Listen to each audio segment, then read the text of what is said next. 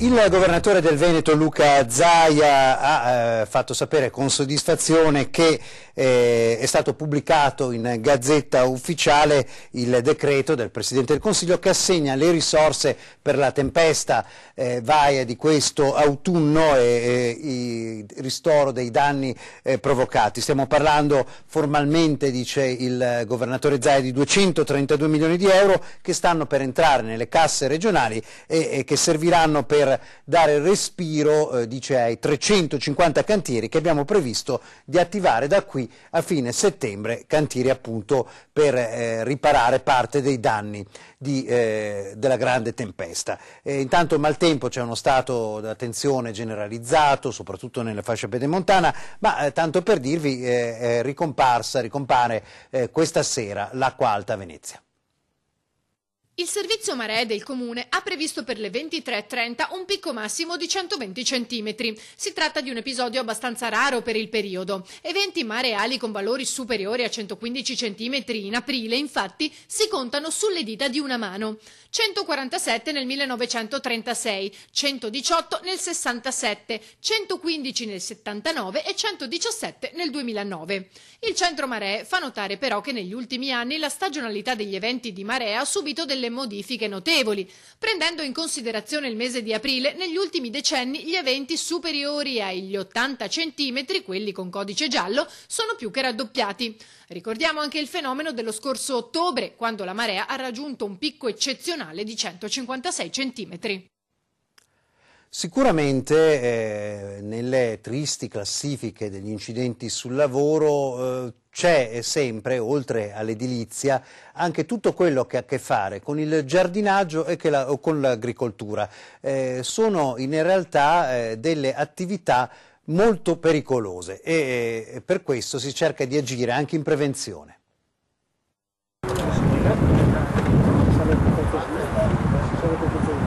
La cintura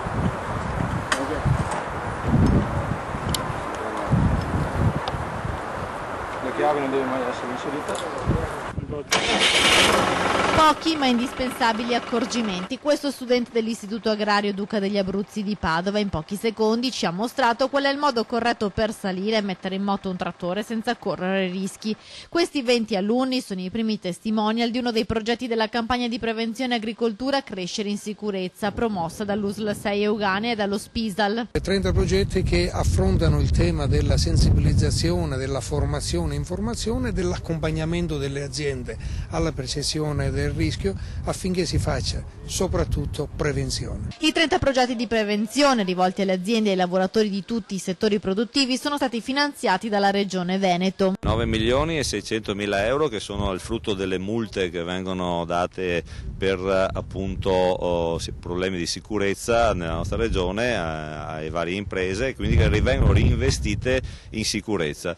Eh, sono state divise per le ULS, qui eh, all'ULS 6 di Padova 1 milione e 600 mila euro per 30 progetti eh, di formazione eh, agli imprenditori, in particolare oggi siamo al Duca degli Abruzzi qui a Padova nel settore agricolo dove avvengono ahimè e, e abbiamo il numero più grande di morti e di infortuni sul lavoro. Il settore agricolo è quello maggiormente colpito dagli infortuni sul lavoro e dalle malattie professionali, per questo l'USL 6 offrirà a 3.600 agricoltori lezioni formative e un kit di protezione con tute, occhiali e mascherine. Intanto per un giorno sono stati i ragazzi a mostrare agli adulti e alle istituzioni quali sono le buone pratiche per lavorare in sicurezza. La cosa importante è l'imbragatura che deve essere bene stretta per le vibrazioni e il peso dell'attrezzo. Dell Questo deve avere uno sgancio di sicurezza in caso di, in caso di incendio. E io devo mantenere una distanza di sicurezza di almeno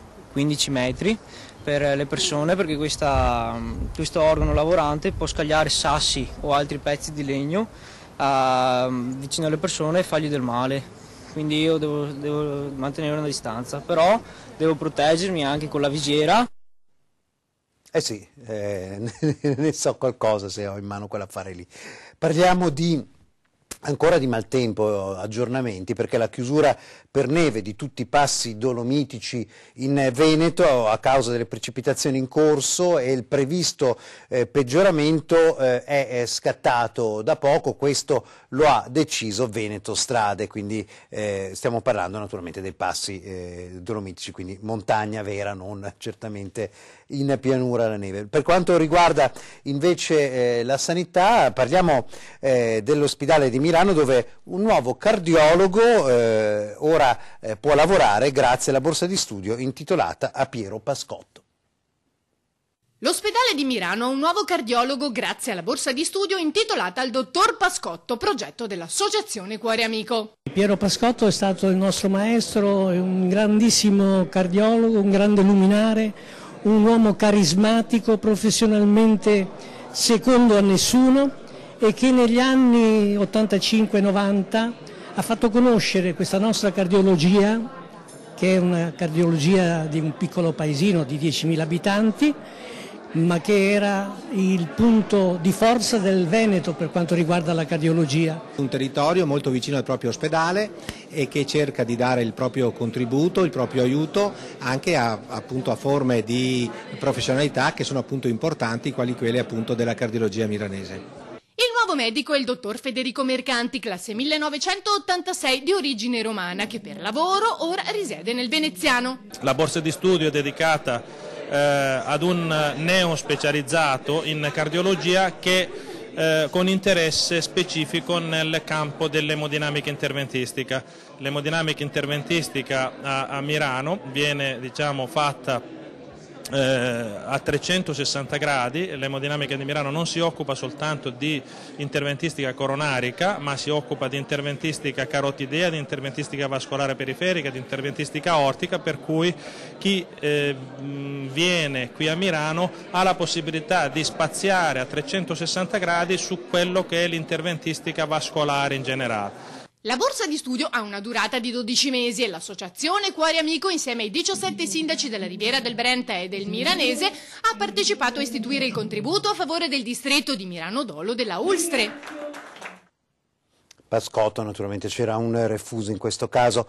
Eh, parliamo di mafia nigeriana, come sapete in alcuni centri urbani eh, si è insediata, si occupa soprattutto eh, di eh, spaccio di droga e eh, è avvenuto infatti un arresto di un 34enne residente a Treviso, eh, proprio ritenuto appartenente a un'associazione mafiosa nigeriana.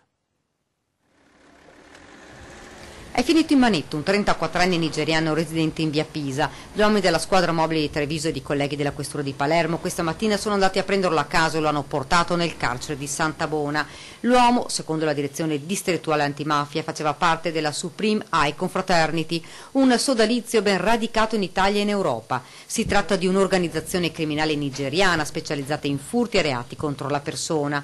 L'uomo, con regolare permesso di soggiorno, vive da qualche tempo a Treviso assieme alla compagna connazionale nazionale ed è titolare di un negozio di prodotti etnici in via Ronchese nel quartiere di Santa Bona. Secondo gli inquirenti rappresentava una delle principali ramificazioni della mafia nigeriana nella Marca. La maxi operazione della direzione distrettuale antimafia di Palermo è scattata questa mattina in varie questure d'Italia. In totale sono state fermate 13 persone per sfruttamento della prostituzione.